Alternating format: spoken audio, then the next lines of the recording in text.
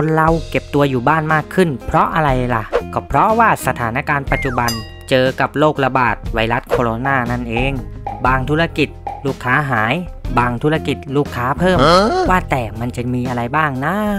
เรามาดูกันดีกว่า ธุรกิจไหนบ้านที่ได้รับผลกระทบจากเจ้าไวรัสโคโรนานี้ ลูกค้าลดบ้าง ลูกค้าเพิ่มบ้าง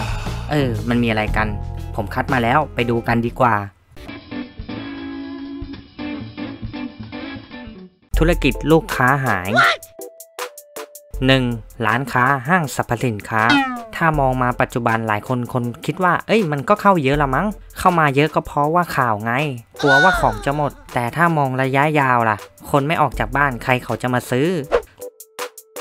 2. สถานที่บันเทิงตอนกลางคืน อันนี้ตรงๆเลย ยิ่งประเทศเราได้ข่าวมาว่าจะสั่งปิดเพื่อระงับการแพร่ระบาดเชื้อไวรัสนี้ขึ้น เพราะตอนกลางคืนไม่ใช่แค่คนไทยหรือคนพื้นที่นั้น ยังมีชาวต่างชาติ หรือคนพื้นที่อื่นๆ อีกด้วยนะ 3. ลงภาพยนตร์ ถ้าห้างไม่มีคนเดินแล้ว แล้วลงหนังจะเหลือหรอ เราไม่รู้หรอกว่าคนที่ยิ้มให้เราข้างๆ นั่งดูข้างๆ เขาจะมีเชื้อหรือไม่ โรงหนังที่เรานั่งอยู่หน้าตอนนี้ มันจะมีเชื้อหรือเปล่าก็ยังไม่รู้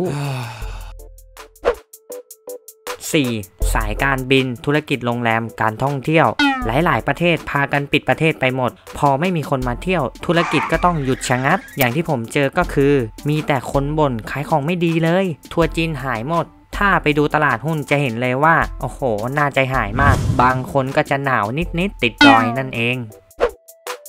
5. คอนเสิร์ต อีเวนต์ ธุรกิจบันเทิง เรียกว่าหลายงานเลื่อนไปหมด การอยู่รวมกันกับคนหมู่มาก มันยิ่งอันตราย ดังนั้นเขาเลยเลื่อน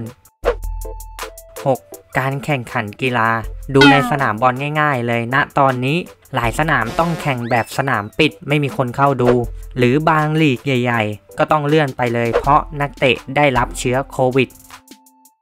ธุรกิจลูกค้าเพิ่ม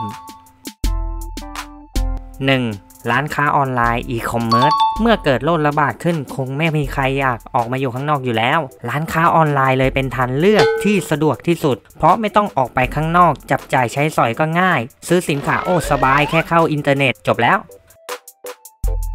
2. บริการสั่งอาหาร มันก็คล้ายๆ ข้อแรกเลยครับ ใครๆก็ไม่อยากออกไปข้างนอก บริการนี้แค่นั่งนั่งนอนนอนที่บ้านอาหารก็มาถึงแล้วโอ้สะดวกมาก 3. รายการโทรทัศน์ รายการข่าว เราจะอยู่อย่างไม่ดูข่าวสารบ้านเมืองไม่ได้นะครับแม้จะอยู่ในภาวะโรคระบาด รายการข่าวสมัยนี้ มันไม่ได้มีแค่บนโทรทัศน์ บนโซเชียลมีเดียก็ถือว่าน่าสนใจอีกด้วย แต่ทุกครั้งที่เสพข่าวต้องใช้วิจารณญาณด้วยนะครับ 4. Social Media Content Creator หลายคนเลือกที่จะเสพข้อมูลจากโซเชียลมากขึ้น ไม่ว่าจะเป็นดูอ่านเขียน หรือแม้กระทั่งสร้างมันเองขึ้นมา บางคนอาจจะใช้วิกฤตนี้แปลงเป็นโอกาสก็ได้ ใครจะรู้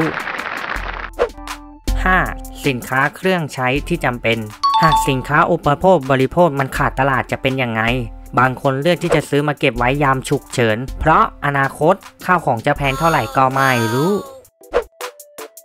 6. บริการสตรีมมิ่งออนไลน์ อันนี้ก็ต้องนึกถึงหนังเลยนะครับ ถ้าอยู่บ้านมันเบื่อ ไม่รู้จะทำอะไร การดูหนังดูซีรีส์บนสตรีมมิ่งออนไลน์เป็นทางเลือกที่ดี แนะนำเลยนะครับ Netflix รับชมได้ทุกที่ทุกเวลา ในอุปกรณ์จำนวนมาก แค่เข้าระบบโดยบัญชี Netflix ของคุณ เพื่อรับชมผ่านทางเว็บไซต์ netflix.com หรือรวมกระทั่งสมาร์ททีวีสมาร์ทโฟน แท็บเล็ตเครื่องเล่นมีเดียสตรีมมิ่งและนี่คือธุรกิจที่ได้รับผลกระทบจากไวรัสโคโรนาผมคัดมาหากไม่ตรงใจใครสามารถติชมได้นะครับอ้อมีเรื่องรบกวนครับ หากเพื่อนๆ ชอบคลิปนี้รบกวนอีกนิด ช่วยกดไลค์กด Subscribe ให้ผมด้วยนะครับ เพื่อเป็นกำลังใจในการสร้างคลิปดีๆ ออกมา แค่คิดชีวิตก็เปลี่ยนแล้ว